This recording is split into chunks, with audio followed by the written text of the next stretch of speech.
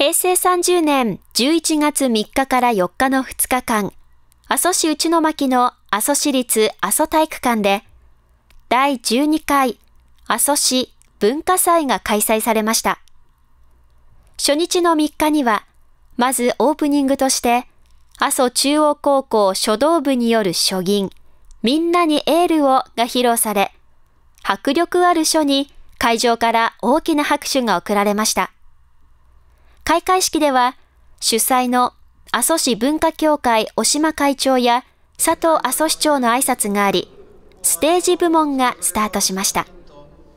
今年の文化祭では、2日間で延べ68の団体が日本舞踊やフラダンスなどを披露して会場を盛り上げていました。